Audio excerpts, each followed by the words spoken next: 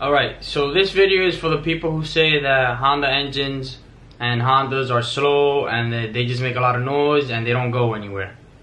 First of all, you have Honda swap engines swapped into Lotuses, into NSXs, the K-Swap Miata, the MR2, and even S2000s. So first thing is people are gonna say, oh, in that list you have a Honda S2000 and a Honda NSX, which are Hondas. Correct. But both of those Hondas are rear-wheel drive, so they are more efficient in transferring power to the ground than the front-wheel drive Hondas, including the Honda Integra, Acura Integra, Honda Civic, and all the other front-wheel drive Honda, Honda Accords, TSX, RSX, whichever one you want. That's the first thing. And they've proven effective too, as well. Then you have the foreign or other cars that are not Hondas. Toyota MR2, Lotus Exiges, and the K-Swap Miata. Miatas are known for their handling, but from the factory they didn't come with a lot of power, which that wasn't what they were meant for.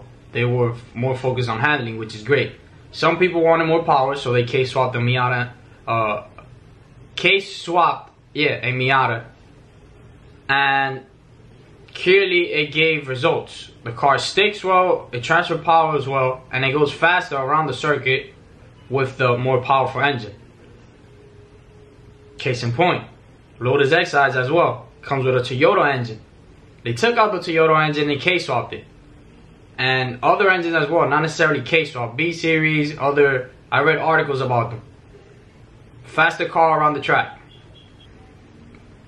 You've seen the K-Swap NSX on other channels racing Supras, GTRs.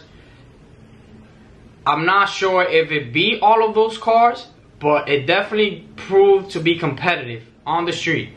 So, how is it that it has a lawnmower engine, but the car is going up against six cylinders, V8s, and it's beating them?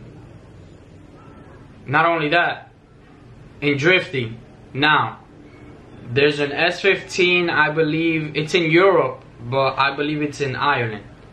It has a K-swap, K24, to compete against the LSX, the 2JZ, that dominate the drift scene. And obviously the car hasn't gone out on track, hasn't debuted yet, but from what it looks like, it sure can be a competitive car. 2.4 liter four cylinder turbo. I'm pretty sure it's definitely gonna stretch some tires. It's up to the driver to obviously make the most out of the power and the engine and the car.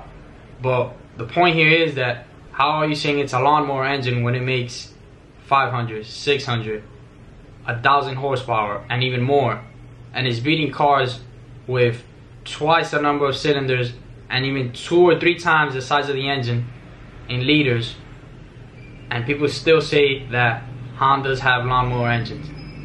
That doesn't make any sense. Why would they swap a car that's not a Honda with a Honda engine and say it's faster?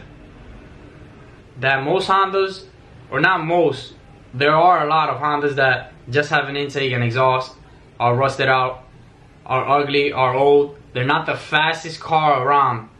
There's people who claim that, that all depends on what car we're talking about, obviously.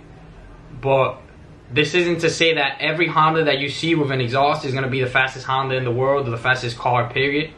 But don't underestimate them because usually the people who underestimate them are the people that get embarrassed when they try to race them at the stoplight. And the car goes two to three car lengths ahead of them. And then they say that Hondas are slow. Those are the people who usually have the, the, the biggest opinion about them. So all I'm saying is, don't underestimate them and stop hating on them. Well, that's up to you. You want to keep hating on them. And at the end of the day, they've proven to be effective. You can have fun on a budget, and they definitely sound nice. So, if you want to be a hater, then that's your choice. So, that's it for this video. That's all I wanted to say. Support my opinion with facts and I will see you guys in the next video.